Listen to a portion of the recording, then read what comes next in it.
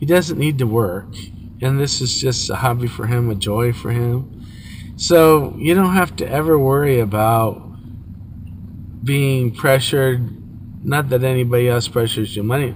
Nobody's ever pressured me money wise, but especially Gil. Uh, I feel so comfortable with him because he doesn't have to sell cars and he doesn't need the money. So there's no pressure. He's totally relaxed and makes you relaxed and makes you know that you're getting the best deal possible uh, because Gil's going to give you the best deal possible. And he knows all the cars. He's brilliant. And he's had them all, probably, and driven them all.